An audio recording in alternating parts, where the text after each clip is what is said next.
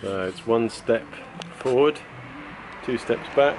The interior is out again for now because I'm uh, just sorting out some of the final joists in the van ceiling for the um, uh, front dinette locker to be mounted to plus uh, the skylight aperture when I get round to being able to afford the 250 quid for the skylight. So the roof's out, or the ceiling's out, and I'll show you what I'm doing. You know this pattern which I stole off the internet and modified slightly. Well, I'm doing something with the ceiling to tie that pattern in with the interior. Um, I borrowed the neighbour's projector and in a darkened room projected the same design onto the ceiling. And just spending some time now to go over what I did to make it look a bit less shabby and to thicken a couple of the, of the lines that was in the was, was in the original design, which is here. Um, so I'm hoping that this is going to be a bit different, something nice to stare up at at night. Um, it's just nice to also be reusing the the old ceiling, so no cost involved, same LED lights, and just modernising it to make it look a bit more funky. It's not, uh, it doesn't pass close scrutiny. I'm probably going to be lying in bed overnight going, oh, I did that bit really badly. But I don't know, bit of fun. Um, tried enamel with a brush, it would have taken forever, so I'm actually just using two different sizes of, of pen. So don't look too close, but that's the update for today. Uh, the girls are away, so I'm in the kitchen and this will go back up and be reinstalled in the van before they get back, I hope.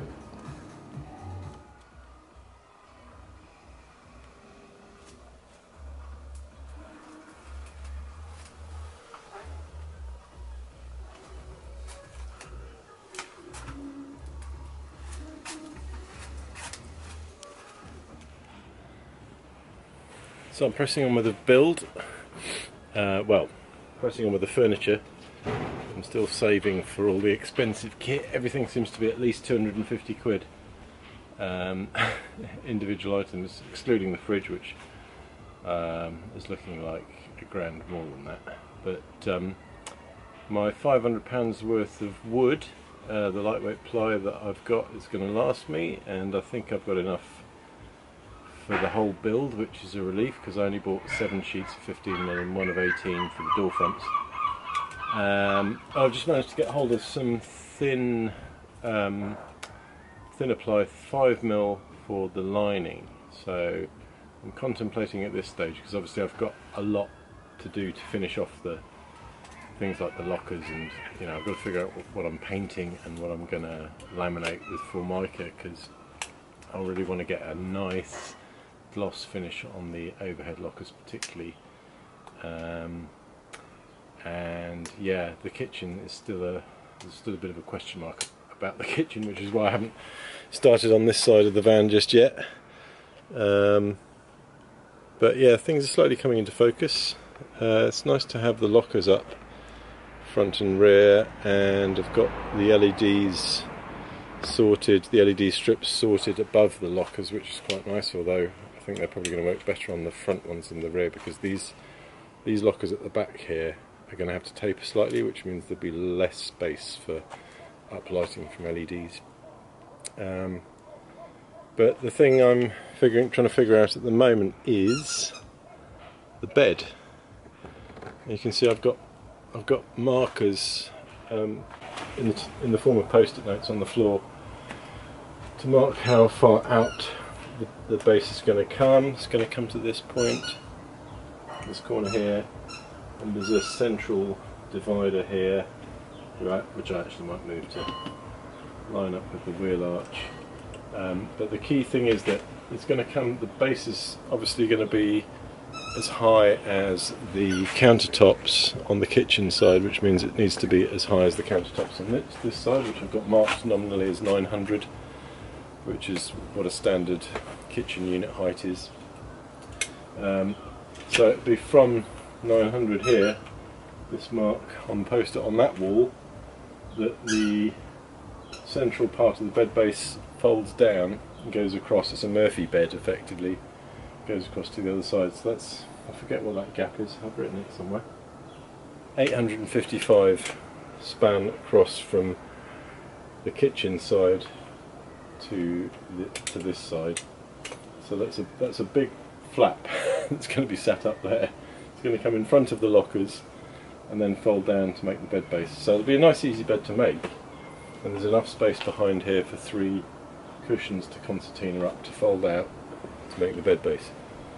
Um, but it will, it will, you can't see, it will be, it will fold up in front of the lockers when it's from its flat position to its raised position.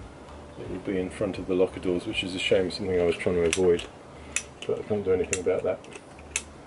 So I'm just wondering what to do next. I think I'll probably tidy up this view by doing the ply lining and covering it in the padded grey uh, stretch fabric that I've got and building the base down here on this side which I'm convinced having measured now about five times is going to be it's going to fit it's going to be accurate Hey ho, the joys of self-building.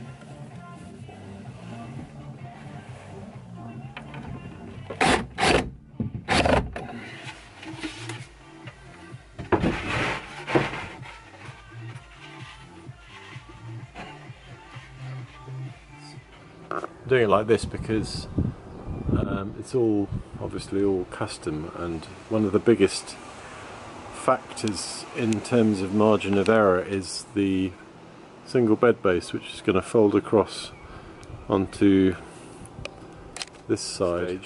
Uh, plus there's one other thing. I'm going to obviously have I'm going to do a, a soft edge on this side of the of all my overhead lockers um, by using a uh, aluminium corner profile.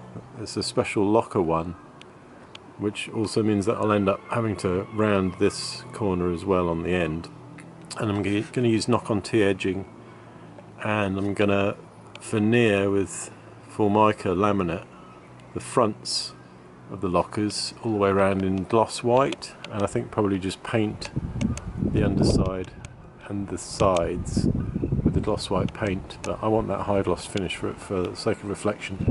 So there's going to be quite a lot more cutting to do, but it's um, worthwhile getting to this stage where I can fit everything and see that it all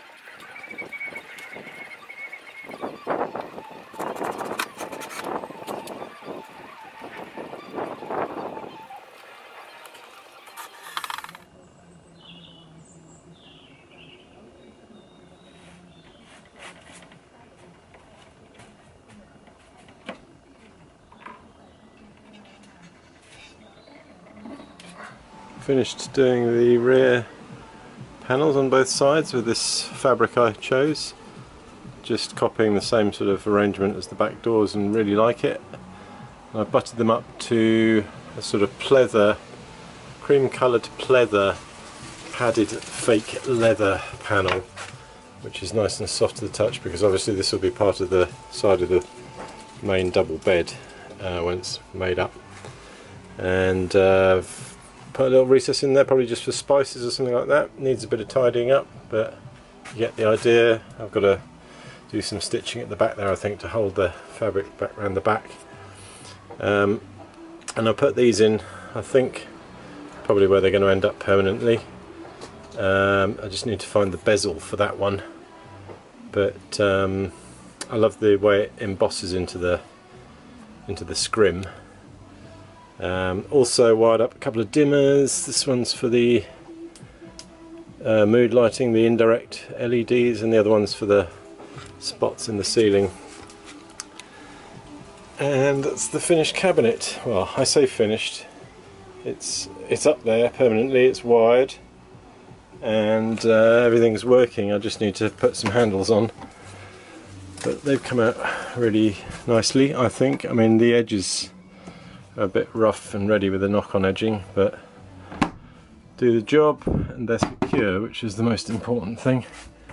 Like I say they just need handles to permanently mount them. But nice reflection in the gloss white and I like the fake wood veneer just to break up the grey. Um, and it's the same on the other lockers as well so. They look pretty smart I think especially with the LED lighting